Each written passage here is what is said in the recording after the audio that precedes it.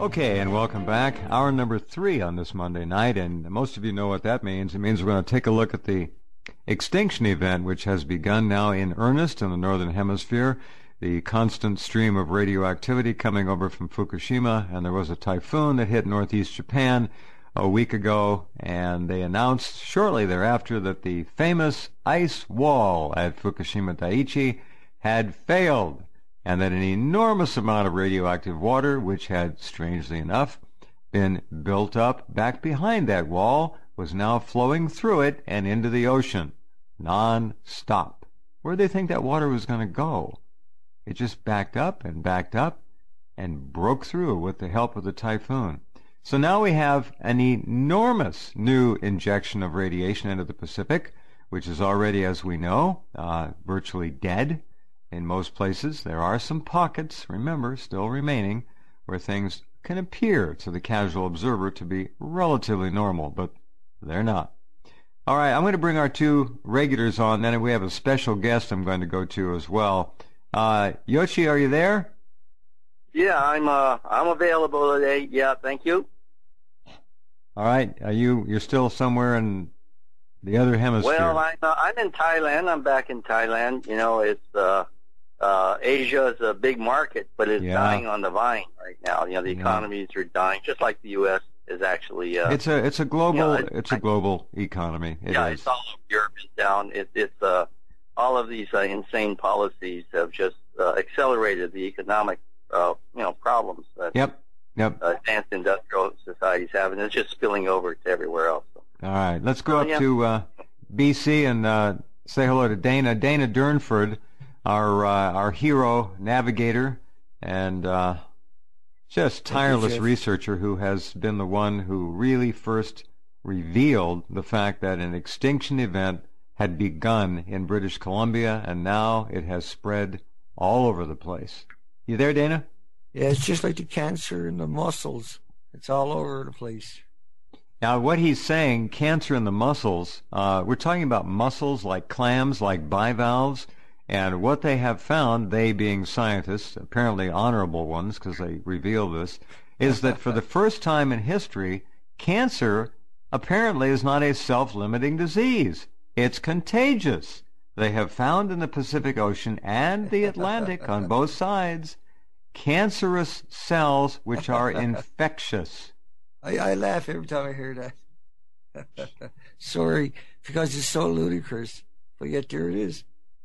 Imagine, if you will, Leukemia. you know someone seafood. who's got, yeah, you know someone who's got cancer, and all of a sudden you can get it. It's contagious. It can be vectored by anyone with it to someone who doesn't have it. You know what that would mean? That would mean that no longer would one out of two people develop cancer. That would mean everybody gets it. So this is a major uh, development in the breakdown of our whole biosphere. Cancer is now in the ocean, in cells, literally floating Well, around, well, you should run away from the coastline. Jeff. If if it gives help long before it's airborne, you know, because it's going from species to species. So you Yeah, just like what? And but Yeah. there it is in both oceans, Atlantic and the Pacific. Not just on the coast of Spain too, spot, ladies right? and gentlemen. Yes, exactly. And it happens to be to the only mussels that are the only species of mussels that are left on the coastline, conveniently. Any bivalve. I mean, they're missing feeling. from the coastline. It's Yeah. it's down to one percent of a percent or something. Well, It's down to twelve species. when no you look out on that hard you look. Go beautiful ahead, ocean, uh, you'll see, uh, in a manner of speaking, an ocean that is carrying infectious cancer now. Not to mention radiation. Yeah, that's frightening. Like if we had cancer in any other food, what would we do? We would freak out. Yeah. Uh, but for some reason now, like I say, a friend of mine uh, was a mussel farmer here. Still has uh, one or two. He's retired though, but he called up uh, the mussel um, association that he's been dealing with for a couple of decades. They knew nothing about it. They got back. Come to him about on. They knew nothing seven- about it. Yeah, no one told them. They got they pulled it up on the website and they got back to him seven days later because that's the first they heard of it, and that freaked them out. Don't don't get me wrong. I'm not I'm not uh, pinning for these people at all. Don't get me wrong either, but that's the fact. And uh, they got back to him, and uh, that was basically the end of it. They they confirmed that that was true. That's what happened. But like you got all these mussel firms all around me. I mean, it's an incredible amount of these things, Hmm. and that product now has got cancer in, but the FDA or the the the food uh, and and uh, administration here didn't step in. But yet here's studies. So it looks like the study was designed to get the children of uh, certain families not to eat the seafood and stay away from the shoreline. That's probably what it really was going on. But who knows, right? Who I, I just find it hard to believe there's cancer. Uh, Yoshi, what is uh, what does this mean? Floating infectious cancer in the ocean. Well, you know, I mean, mussels they they communicate biologically, you know, uh, with each other. Uh, there's uh, sexual reproduction, so uh, it's not surprising that cancer cells are drifting between these animals and spreading, and into other species also. You know, they gather a lot of That's water. the bottom So line. cells Yeah. Yeah, and then, uh, yeah, but uh, we got to remember too, the cancer is opportunistic. This is just one of the downstream effects of radiation. These are all sick, uh, as Dana points out, they're all sick animals to begin with from the radiation from Fukushima. Uh, so they're they're already in the process of dying, and so they're just much more open to all sorts of infection, They have including no- the cancer they- cells from other, got no- other yeah. uh, marine species. Yeah. Absolutely. have no- no could have I agree with you wholeheartedly. No immune Yeah. system, no functional animal, immune system. We're all in the same state. Yeah, yeah. We're we're Rather much than- more open. I, I, there was a metaphor basically for them not saying radiation was an issue, was the issue, and caused Yeah. these autoimmune deficiencies or illnesses and injuries. Right. All I agree. That's smart thinking. Thank you for saying that. Let me uh, Yeah. move on here. What I'm going to do is read uh, three emails I got from people who've been kind enough to write in to share their experiences with what Dana first discovered that the insect population was virtually gone in British Columbia. And that has spread all across North America now.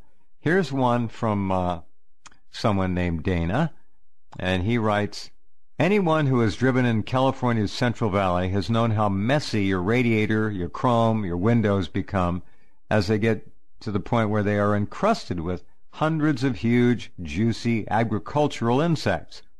In the recent past, a trip across the valley, this again the Central Valley, would mean a trip to the car wash. This past month, July 2016, I drove across the Central Valley from Yuba City to Clear Lake. No bugs. I drove down Highway 5 to Merced. No bugs. I drove back to Yuba City. My son and I laughed when one medium-sized bug hit the windshield near Stockton. One bug. Last year I had visits from about three mosquitoes. This year I saw only one mosquito. I don't see many birds now in the Sierra Nevada foothills. These forested hills previously teemed with bugs, birds, and critters of all kinds. As I walk along, I search for critters like ants, grasshoppers, and beetles. I very rarely see any.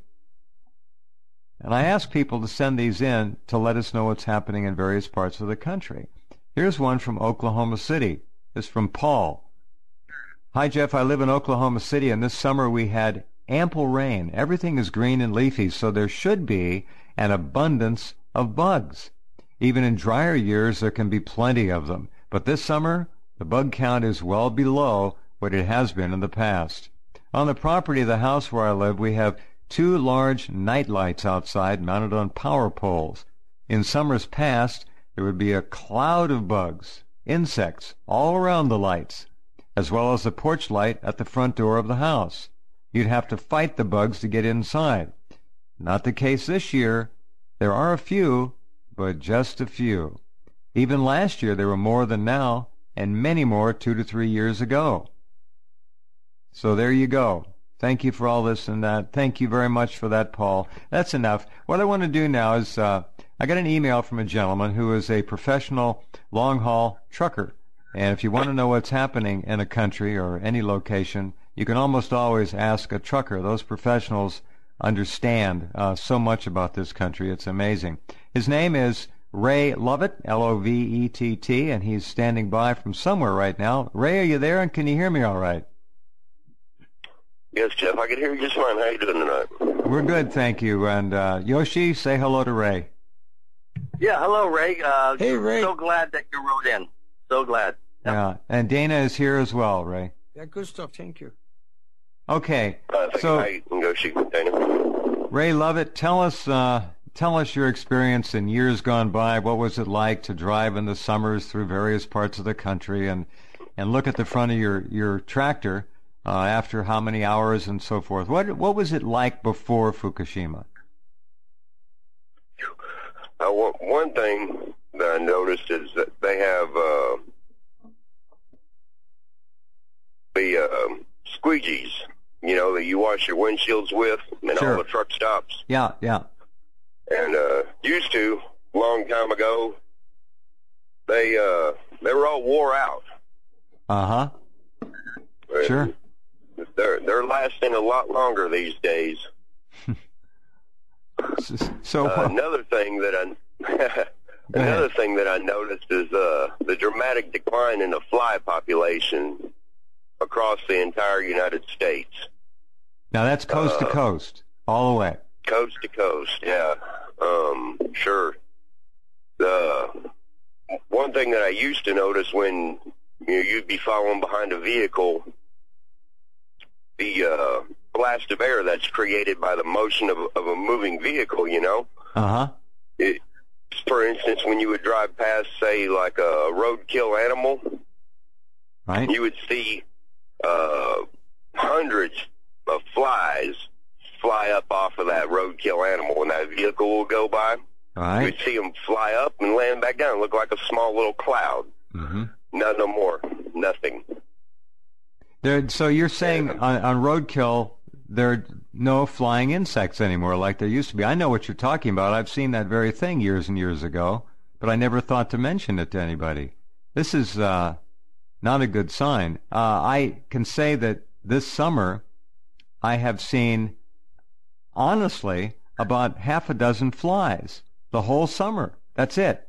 There are no more house flies. There are no more flies hanging around outside if something's dead outside, like a dead animal on the property, no flies. You're right. This is very interesting. Uh, Dana's saying the same thing up there. Right, and you remember last fall I, I put a chicken leg, uh, a couple of them out. by the That's right. And, you and did. they lasted for months. Sorry. they They lasted will. for months, huh? Yeah, they lasted for months, uh, and no cats stole it. Say, no birds came in and landed on it. There was no uh, amount of insects that, like, you couldn't go out and, and find insects, but a scatter time you might see one over the couple of months. But uh, it, it lasted for a couple of months, and I literally gave up on it. I got raining and buried or something, but I thought that was the strangest thing imaginable. I have reports from right across North America. And another uh, one that I caught tonight up on Canadian YouTube trending was uh, three uh, grizzly bears going after uh, pet ducks uh, people had penned in on their property. And they were the brazenest things I've ever seen in bears. I've never seen bears react like that. They got right in the bear's face with the vehicle, blowing the horn. The bear came right back through again. It, um, it took, uh say, 10 minutes for the bears finally left, and it wasn't willingly but they definitely wanted those ducks extremely bad.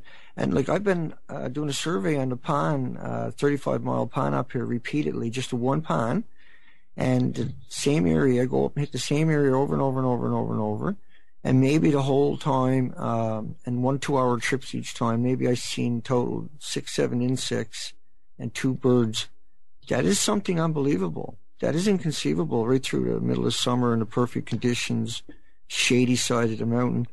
Yeah, no, we're seeing reports from right across the country. Now, I've done the whole coastline, and why uh, you were talking about uh, windshield washing that. We done Port Alberni for two days, that stretch of highway where all the trucks are coming down through. It's a 40 mile through uh, old growth. Some of these trees, you can put something like 80 people inside of the tree. These are huge trees, and it's normally just maggoty insects. Uh, I couldn't find any on the side of the road except for a bee and a horsefly. And the insects that I did find, uh, around 30 species along the coastline and on that, was the same species no matter where I went. I didn't find the extra species. And uh, there should be something 30,000 species along the coastline. Wow. we, drove, Yeah. we drove the whole coastline, and once again, uh, on Mm. top of that, and never had to clean the windshield a single time. Yeah, go ahead. Ray, what about uh, about the windshield on your on your rig and the front end? You're, you're talking about squeegees not being used much by truckers to clean their windshield. I guess that, that's that's the, that's the norm now. They're, they're they're used. You know, we, we have to we have to use them. Um, mm-hmm. But they're they're just there's no no bugs to clean off.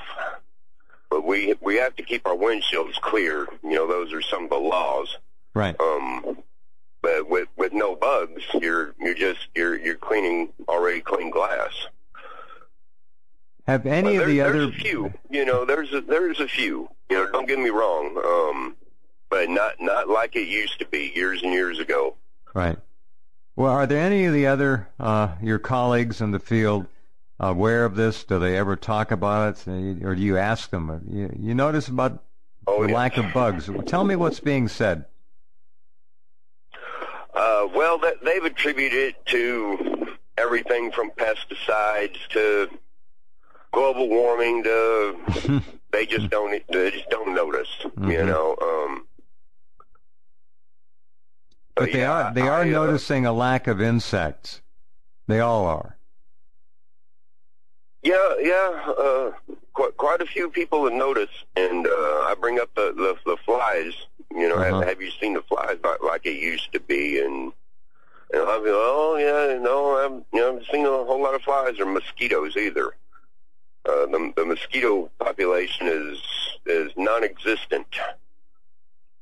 Um, I, I found a few pockets of of them across the country. Um, mostly in the Arkansas, Louisiana, and the wetland areas, Uh-huh. but they, they used to be uh, prevalent across the entire country from coast to coast. Um, you couldn't go outside at nighttime w- without spraying yourself down, but n- not anymore.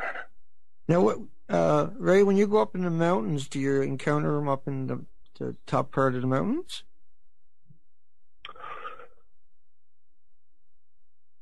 As for Ray, Does uh, does elevation make a difference, Ray? When the, the few you do see, are there more up at the higher elevations, or are they down at the lower elevations? Uh, the ones that I have found have, been at, at sea level or, or within 150 feet of sea level. Uh, Okay. I haven't I haven't been up in, into the mountains here here How recently, and you know been able to stop Yeah. or anything. All right, The next next question. Yeah, birds. What about birds? Uh, they've they've been dramatically reduced. I found a few pockets. What what I find really astonishing. I noticed this. I was in uh, you know uh, the the Great Salt Lake up by Salt Lake City, Nevada, uh, Utah. Mm-hmm. I spent a lot of time up there in uh, back in 2012, and Right. the seagull population they were just millions of seagulls up there to the point where every evening you could see them circling the entire Salt Lake City area, and uh, to the point where it could become a hazard to aviation. Um, just Wow. For a thousand feet in the air. Uh, you know, all these seagulls and everything. I was up there the 4th of July, and I saw two seagulls. Uh, and I was right on the shore of the Great Salt Lake. Um, I kind of attributed that to, well, maybe it's because there's fireworks in the area or, or what, you know, what have you. Or there wasn't a whole lot of fireworks, but, you know, a few people were shooting off fireworks out there. But I don't I think that was the that. answer, Ray. Oh. Uh, this is uh, this is again another thing that D- Dana has seen many many times. No more seagulls, uh, Dana. Of course, they just migrated, right? yeah, and Yeah, that they- they trend of the bears migrated coming somewhere. after the ducks, that's something we expect. I've been looking for. There was a lady up here too in British Columbia was chased by bears, by a bear, and uh, was chasing a dog rather, and then she was in the way, and the bear ended up uh, beating her up a little bit, stitch wise, thirty stitches or something. But uh, my kid had last fall had to put down a bear; it was starving, and I seen a bear two nights ago, or maybe it was last night. Yeah, two nights ago coming into my area, and he was ahead of me. He was uh, he wasn't very big. Uh, now, last year around this time, we were inundated with bears, uh, going through everything. This year, hardly, I think, two reports. You remember I was talking about it a lot last year, Yeah. Jeff? Yeah. Yeah. Yeah. So this year, only two reports. This is something I predicted too. Last year, they were eat, living on apples because uh, the mountains, the ice, the glacier ice is gone. And uh, that's why I was asking you, Ray, about the insects in the mountains. But uh, the glacier ice was gone. Is now this is number two year, three year almost uh, without the glacier ice. So the rivers, the estuaries, lake, the streams, all the insects that were completely dependent upon those estuaries and um, they- they never responded because the rivers were too hot. They never got that cold glacier water regulating it the last couple of years, and then the salmon never made it up. So in three, four, five years, uh, that that alone would be devastating. Yoshi, what are you hearing about uh, the insect population in Japan? Are you getting any reports from anybody? Oh, There? yeah, yeah. Same same pattern. It's been going on like a year after Fukushima, vast reduction. And uh, what's interesting is that it's uh, it's all along the the uh, food ladder, the food chain. So you get moths and uh, butterflies, you know, outdoors a lot. Uh, uh, they're dead. But what's interesting about mosquitoes and um, flies, they're, they're they're basically one's a blood feeder, the other is a flesh eater, you know, of uh, soft tissue and carcasses, is a you know Right. forager. So, and one thing I do know about flies is that because I do development of natural pesticides against uh, mosquitoes and so on, flies are uh, uh, they're they're a genetic freak because all other insects we can kill them by knocking out their GABA, G-A-B-A gene, which controls the timing of their respiratory system. But flies are immune to that. So what that leads me to conclude is that ingestion you know, of water, of food, has a lot to do with killing these insects. And it's very interesting about the roadkill, you know, uh, the, the sort of really stark situation where the flies really congregate there. You know, this is where they lay their eggs, the maggots grow, so they're obviously probably dying off in the maggot stage in the flesh of these animals, in the soft tissue of these animals. And so what it means is the grazing animals, the, you know, the, the wild animals that graze are this big source of blood and, and, uh, you know, fuel for the eggs for flies. Uh, that's where they're getting it. It's in the higher animals already. Know, in other words, if there were only mosquitoes and flies, I could assume, well, we mammals are pretty still pretty safe. That assumption is just blown away by what you're saying about the absence of flies. These very, very hardy insects. No, all right. Uh, Ray, any final comment for us tonight? This has been very helpful. And again, what you're telling us is pretty much coast to coast. It's not just in the Northwest. It's all over the place. Yeah, that that's pretty pretty much it. Um, in the last couple of weeks, I've been everywhere from upstate New York all the way down across the southern states to Phoenix, Arizona, then back up to upstate New York, and uh, pretty much noticed the same thing all, all the way across. No moths. Um, at, at nighttime here in the truck stops, we have the high intensity lights, the overheads, Sure. and years years back you could see just millions of moths and mosquitoes and everything surrounded those those lights but, Yeah. not anymore None. no no more Very few. Yeah, uh, same thing here. The service stations at night used to have swarms of insects around these the lights. No more. They're gone. They're just gone. Ray, thank you very much. Uh, stay in touch. Maybe we'll talk to you again down the road here. And we appreciate the observations and, and you being on tonight. So take care. Drive carefully. Yeah, thanks, Ray. will do jeff thank you All righty. thank, thank, Thank you you. dan thank you thank you yoshi y'all have a good night Thanks. Okay, well there you go. Another uh, report from a man who who knows. Uh, Yoshi, you wanted to talk about steel. This is a very interesting subject, and so Yeah. let's get into that. Set the stage for us here. Uh, briefly, uh, the French company EDF, Energy France, uh, which is involved in this current controversy at Hinkley Point in, Br- in Britain, trying to put in a major power plant. Well, they just caught uh, a serious defect in the reactor cores that are being shipped from Japan to the Flamanville plant, which is being built in France. And their report has been very negative. They said that there's high concentrations of carbon inside part of that steel And as you know, I worked in uh, two steel mills at uh, Yeah, uh, South Chicago South Works Yeah. and also at Republic Steel, Republic Steel in Gary, Indiana.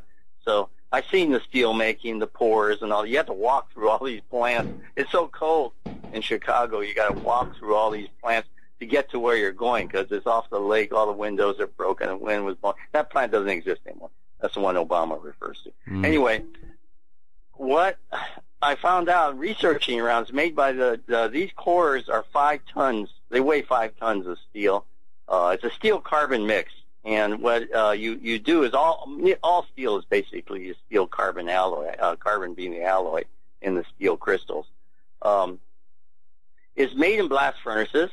Okay, and, mo- and modern steel mills use oxygen, so there's no contamination from air. And then the steel is poured uh, for casting. Once it's all you know mixed and melted, and uh, it's all tested and so far, it, it's poured out and it's cast. Okay. Now, when I found out that this company in Japan uh, is called Japan uh, Forging and Casting Corporation, and it's based in Kita, Kyushu. That means North Kyushu, the southernmost island in Japan. Uh, very close to the Nippon Steel Company, one of the world's at, at one time it was the world's largest steel company. It's formerly known during the war, so many American veterans of World War II know it as Yawata Steel. Yawata was basically built the entire Japanese Navy and Air Force in World Huh. War II. It was made out of Yawata steel, Uh-huh. and including the battleship Yamato, another world's biggest you know uh, uh, uh, battleship ever. But anyway, uh, Kokura, That was uh, that that that was called a super battleship. And if you want to look up something, battleship, yeah. look up something amazing. Look up the uh, Moto, I guess it was. Uh, Yeah. Super battleships of Japan. yeah, Yeah. an enormous number of hits, yeah, from American uh, bombers, torpedoes, you know, before it went finally went down. But anyway, uh, the Yawata Steelworks was the target of the fir- world's first plutonium bomb, which was dropped instead on Nagasaki. You know, the the steel mill. Uh, if they knocked out Yawata, that's the end of Japan's war war making ability. Okay, it's that big a a, a, a mill with that advanced technology, metallurgy, science, and all that. What happened? The workers there started a huge fire uh, using tar from the uh, you know, when you make coke, a very pure carbon out of coal, you get all this tar left over. They were burning these barrels of tar, which formed a huge toxic cloud over Kokura, and the American uh, bomber crew had to fly instead over Nagasaki and dropped it there instead. So this is a very historic place, you know, the steel making center, one of the most historic steel making centers in the world.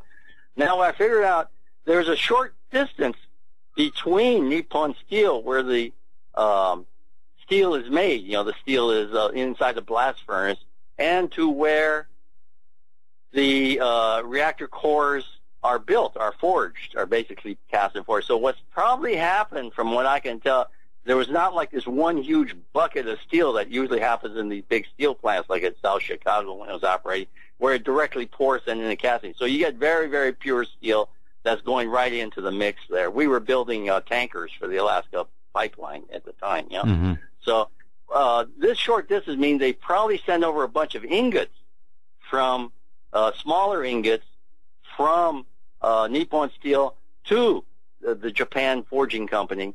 These were remelted. Now the problem there when you remelt the steel is it gets exposed to air. You get nitrogen, and nitrogen really screws up the chemistry of these. Uh, and that's why we use oxygen nowadays. It screws up the chemistry. So that's my guess. That somehow nitrogen got uh, uh, got in there, and uh, it failed to purge for the final purge of carbon. You know, carbon when it comes out of a steel mill is about four percent. You've got to purge it down by one or two percent to get uh, steel that is malleable. In other words, the more carbon you have, you've heard of carbon blades, right? Carbon Yep. blades Yep. combat blades. The Yep. more carbon you get, the sharper and stronger the steel gets, but it gets brittle. It gets to a point where it gets too brittle. So if you need steel that shrinks, you know, that's under a lot of heat pressure, shrinks and expands like a nuclear power plant, you've got to have malleability and less carbon. But it has to be evenly spaced around so you don't get like some parts expanding faster than the other, which will cause fragmenting. Now the problem here at Flamanville I think is not just a one-off problem. It, it appears to be a very fundamental to the production of these nuclear cores. Now, there are 13 reactor cores in Japan, two of them operational in Kagoshima right now at the Mitsubishi plant in Ka- uh, Kagoshima, Uh-huh. which are made of, by the same process. Okay, these are 13 reactors at, at, at six nuclear power plants in Japan have these same design cores, these same forge cores. In France, you've got 18 reactors, and these are larger reactors. These these are for larger reactors. 18 reactors at nine plants. Basically, we've got what 18 and 13. We've got what uh, 31 nuclear bombs ready to go off in France and Japan, and two of them operational in southern Japan. Wow. Good news. You More good news. uh, you know, metallurgy, you know, uh, uh, uh, chemistry. It's a basic chemistry problem, a metallurgy problem in Mhm. this steel, and it hasn't got a lot of citation. I'll try to send you some stuff when I have a little bit of time on this. Uh, it looks like a, a problem they can't fix. There is another reactor uh, core plant way up in northern Hokkaido, uh, Muroran. It's a really weird place. It looks like, uh, you know, it's you go through Hokkaido, nice green. You know, this is the northernmost island. Looks like Alaska, beautiful green uh, island there, forests and and pastures and all that. And then you see something that looks like Mordor, totally black and grim industrial site, very old. So these are very old plants that are operating and making your nuclear power plants. And there are basic defects, basically, we're seeing, which will lead to uh, fracturing, meltdowns, and further problems. And unless the nuclear industry is finally shut down, these problems aren't going to go away. They're not going to. These uh, it's very very hard. Now the plants in China and Russia, okay, made there, they're welded together. this, this is incredible. I didn't realize that. They're Huh. not a single port casting. Uh-huh. I, I wouldn't. I wouldn't live next door to one if they're well. I, I used to be a welder. You know. So these these these reactor cores are welded together. Yeah, the ones from China and Russia. So Yeah. you know all the problems along the Alaska pipeline and Oh, of course. bad weld. Of course. that. I mean, and, They- and they- welding also. Well, uh, whenever they build a nuclear plant, they have to X-ray all the welds theoretically to Yeah. check them to see if they're Yeah. good inside and outside. Yeah. And this is not good news. I didn't know that. this that. is not good news. And then the problem is not the weld; it's the metal next to the weld. Uh-huh. that's been burned and shrunk, and this lost its uh, crystal structure. Basically, it's, it's like crystal chaos in there. You know, so they don't re- they don't X-ray that part, but they know darn well that's the weak point is not the weld, but the metal adjoining the weld. Ah, if you go, let's say, another inch or two out, Right. that's where you have an enormous weakness. So the nuclear industry is not playing with a full deck of cards. I mean, this is like so fundamental to the manufacturing process, you know? We wouldn't do this with diesel engines, you know? We wouldn't do this with your car engine. But they're No. doing it with these bombs that they're planning around the world that will destroy entire economies, destroy entire continents. Wow. Oh, the other problem, other thing, uh, just yeah, this is a astonishing thing.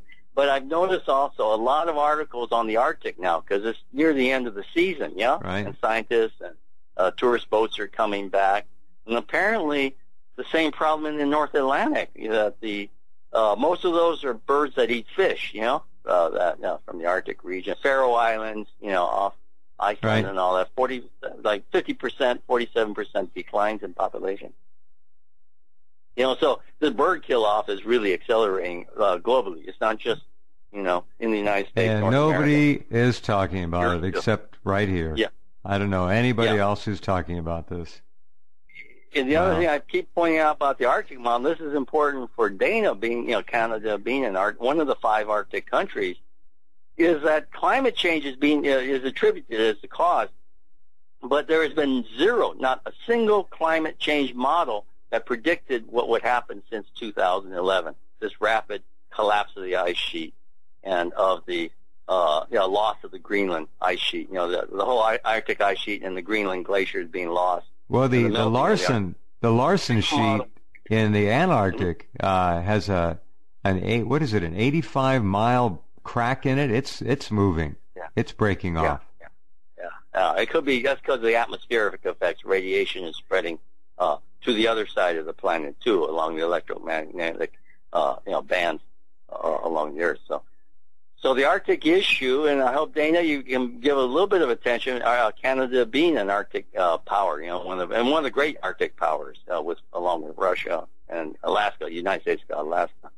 Um, and then Denmark, obviously, you know, uh, because of Greenland. You know, that um, you know that, that uh, we've got to look at the reports coming in from the Arctic this autumn. You know, a lot of reports will be issued, and again against that climate change model. Yeah, yeah climate climate change. James Hansen. And James Hansen had wrote a book, and then uh, 350.org was started up based up on that book by another person, and then they have 7,500 chapters. Uh, and so it's all based. That one, that part of it is, if you want a real climate change, I can show it to them in a heartbeat. So it's all based upon this fable and tin cans and pop bottles and cardboard. But like the grazing on the animals you were talking about, that's um, that was the big one, wasn't it? Now, because like the animals in Fukushima Prefecture, they can migrate out, and then it's legal to kill them and eat them. But, uh, and, it's absolutely atrocious that somebody did eat them. And the um, the lap, uh, I can't remember. You remember the reindeers in um, uh, yeah, in Norway. Yeah, in, in Norway. Oh, oh, yeah, yeah, yeah, yeah. No, these are the uh, antelope in Kazakhstan. Wiped 120,000 of them. Half the national uh, herd along the steppe just wiped out like in a week, yeah, or less in days actually. Yeah. I think it was days. Hey, uh, yeah. when you're talking about those reactors, Yoshi, um, hmm?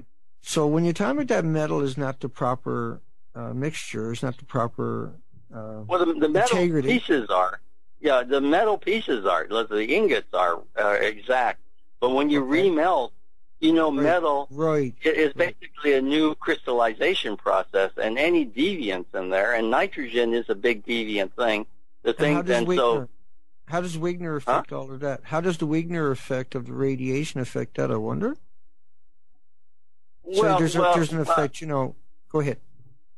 Well, yeah, yeah. Uh, if you have more carbon in the steel, and we're just talking about half a percent, or you know, a small percentage, half a percent or a percent, that part of the steel will become more brittle. So when the reactor is heated, it will expand, and then when you and when you pull the fuel out for servicing, there's a vast reduction in temperature. Okay, and so it will right. contract that reactor core. You do that a few times, you're going to get cracks.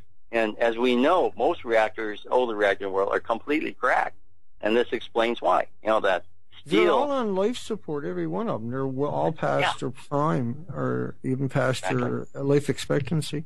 And then that Wigner effect, that the integrity of the entire facility has to go to a nuclear waste site because it's radiated, and also that Wigner yeah. effect itself is really bad stuff. Explain the Wigner effect again, so we all know. So what it breaks down the atomic on the atomic level on one one ten thousandth of a billionth of a meter, it breaks it down uh, to the point where it's kind of like what uh, Yoshi's talking about. It becomes brittle, uh-huh. but on top of that, it becomes highly radiated from the neutrons and the gamma showing and the X-rays and everything else.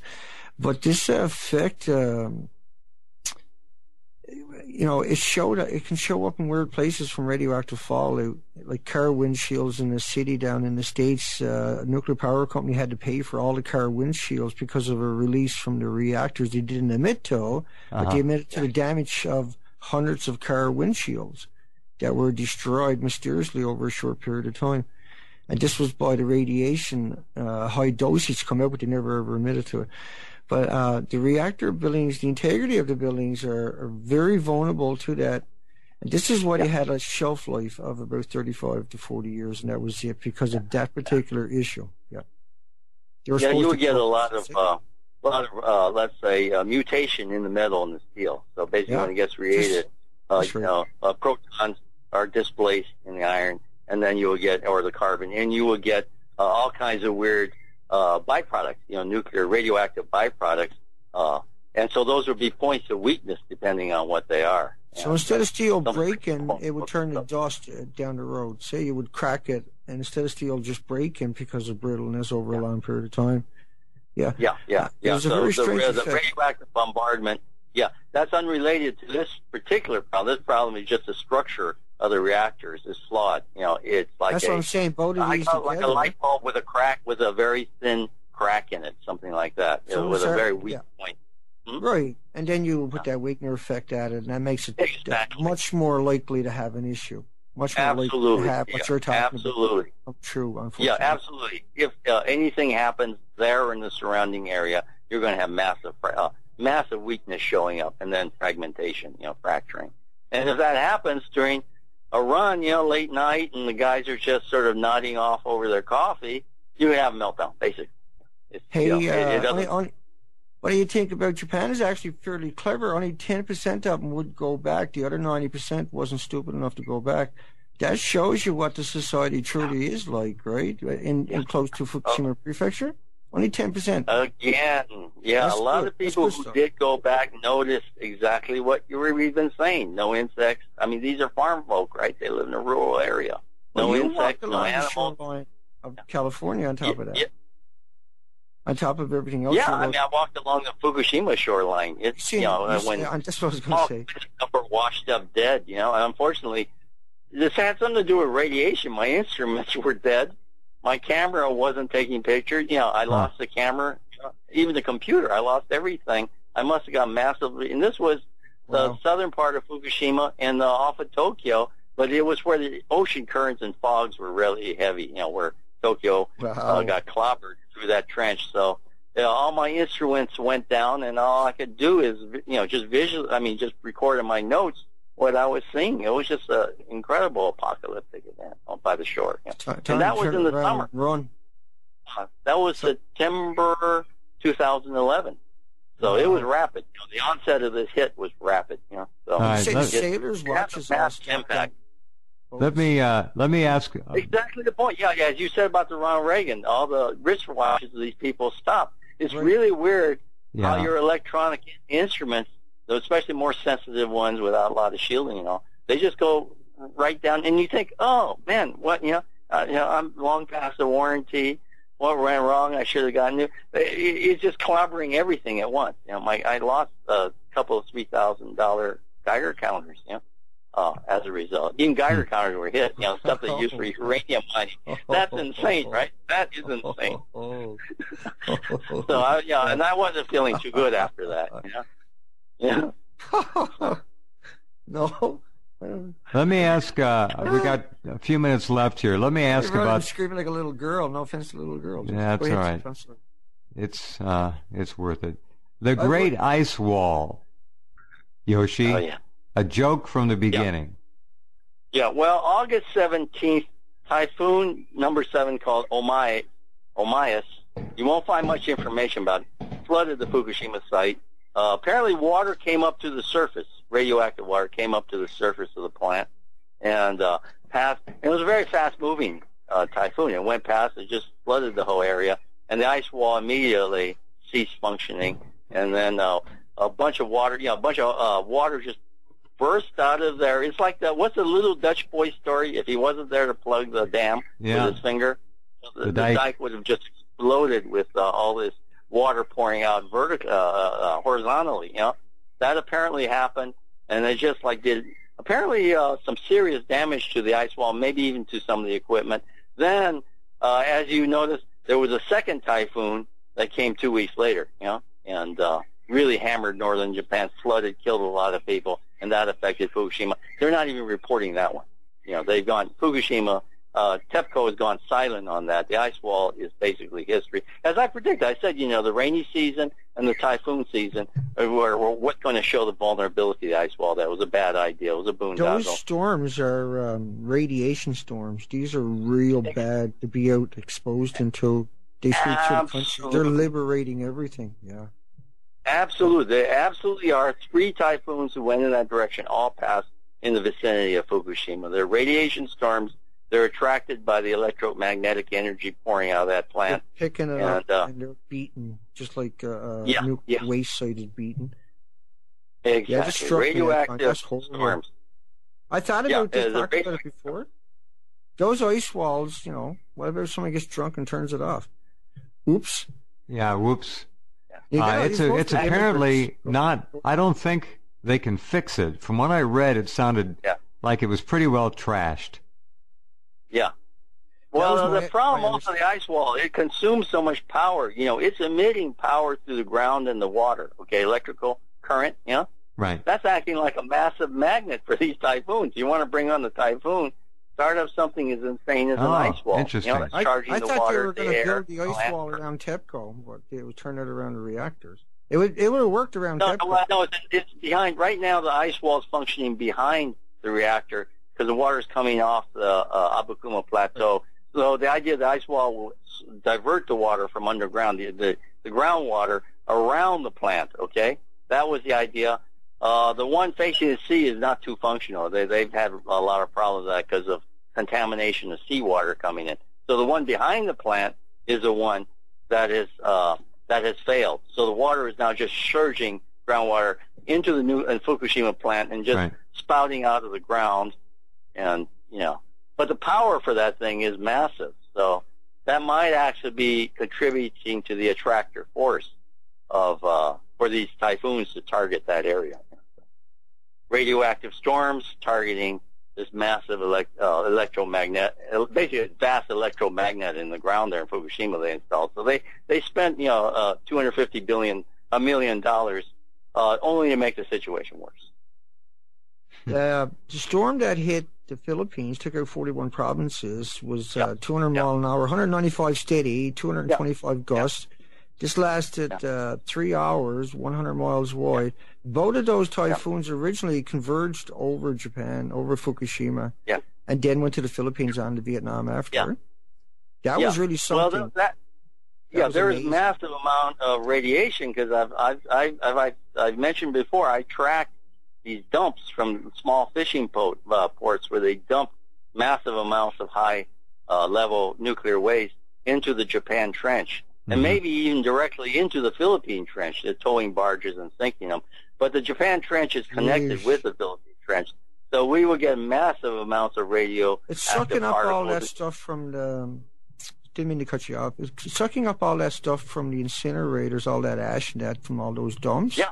Yeah, it's liberating all that back into the environment at the same time. Really something else. It's horrible. The, the releases, the releases are incredible. I mean, the the, the quantities we're talking about, because what we see published, yeah, I, I think is a fraction of what really went on. If if my I can reading give you an example. ports- I'll give you an example because I know we're short on time. Uh, in, uh, in 1945, they, they went into the middle of the Pacific and they dumped 14 curies into the ocean, all the way to the middle. They dumped 14 curies. Now, 14 curies is one sixth of a gram, and Yeah. so they're not telling us the truth. No. That's a lot. When what? Yeah, and so like a, lot- No, uh, I'm you know, a compared to the gram, a gram would have 88 curies, and Yeah. uh, yeah, Yeah. and so a pound, you know, is a lot of gram. But uh, this is what I'm saying. They don't tell you the truth. That was the official number, but when you actually done Yeah. the math on on uh, 14 curies, is one sixty, one sixth of a gram, and so you know they're lying. But it looks like a lot when you when you look up the original number until you consider what it takes to make a gram. lying, disgusting, demented people. What? You went all the way up into the middle Pacific to dump a sixth of a gram. Yeah, exactly. They're dumping barrel after Congress, barrel. Congress is like, thank you very much. Yeah. Yeah. This yeah. was con- Yeah, congressional but they- records. Yeah. They No. told that Congress, Congress laughed and said thank you. Good stuff. So so far, uh, again, let me point out that nobody that I have come across in the so-called alternative media is talking about radiation, Fukushima, extinction, no bugs, no birds, nobody. And they're here, they're listening to this program, but they will not talk about it. I'm not saying they're afraid to. It's I'm just saying it's not a priority for them. It's taboo, I guess, or it's just Yeah, doesn't that sink in. They're not able to. Uh, they're not able to wrap their mind around it. No, all, they know, they don't want to. They're besieged by enough stress. They don't want to take on any more. This would be too much for a Yeah, lot you of can't blame people. I get it. I definitely get that. No, I Uh, but I, I, I, not to the point where I'm not going to try to shove it down their throat. Well, that's what it's going to take. I, I feel the same way, Dan. It's like you know we've said a lot. Take it or leave it, and but don't go complaining to us later on. You know about what happened to your kids or your pet or yourself. You know, I mean, just you know that's my attitude. You know, I kind of lose my sense of charity. You know, I went to Fukushima and and provide herbs to people, advised them to leave. Many people didn't. They got better for a little while, then they died. You know, what am I supposed to make of it? You know, you can give. You're like a doctor giving people a good prescription, good medicine, and good uh, health advice, and they don't take it. They go right back to no, you know smoking a cigarette again, right? I mean, so what can I do? You know, don't like, don't bother me with the facts. My mind is made choice. up. There I is think we're, freedom I of think we, just, we all have to prepare for the future, and we have to prepare to Yeah. help everybody understand this, and, and we become better every time we try. And that I think we're But we part of that cycle that has to be there. Yeah, we we do try, but their freedom of choice is, I think, misguided. They take it very personally. It is. Oh, Oh, it is I don't really have a reason to live No, anymore. is. But they're not thinking of grandchildren, other people, you know, oh, animals. Oh, no. They're not The thinking eight of no. million other species on the planet, no. No, exactly. That's Totally what I right. mean. It's that you, it's not just one's own personal choice. You know, I, the do, I don't know. life on this planet rests on every person's line. shoulder. Every human being, It's especially since our species is so destructive. Every human being has part of that weight of eight billion species on his or her shoulders, and that's it- what we're trying to wake obligation. That's right. Thank you. Exactly, stewards of the earth and all that, right? I mean, Huh. that's their obligation. are are we worthy? Uh, I don't think so. Not anymore. Thank you, uh, Dana. Hey, Take care. Talk to you next So, week. Thank you, folks. Thank you. All right. Good, good luck next week, Dana. Good luck next Yeah, week. we'll do the This radio show so the day terrible. before trial. So we'll do the next radio show. I'll be down Okay, there the day yeah, but uh, we keep your spirits up. This is a hard time for all of us. All Oh, of us who are critical. I got me battle. Yeah, it's a I got me tough time. slippers. On. yeah, I do so. yeah, but we're with you a thousand percent, and wish we could do more to help. I know you're right. That's what gives me the strength. Trust me. Hugs. everybody. Okay. All right, Dana. You take care. You too. And Yoshi, you take care of yourself. Uh, All right, good. you, night, be sir. careful of some of those strange people across the street who are staring at you. You know? Oh yeah, they're they're they're they're no longer across the street. You know, let's put it that way. You know, I yeah, yeah, figured. creeping up the back steps. Anyway, All we right. we continue this battle as best we can. With All what right. little we got. Thank you. Okay. You be well. All right. There goes uh, Yoshi and Dana, and thank you for being here. That's our Monday night, and uh, didn't get any more controversial than what we covered tonight. Back tomorrow night. Hope to have your presence. Take care. Have a good day, and we'll talk soon.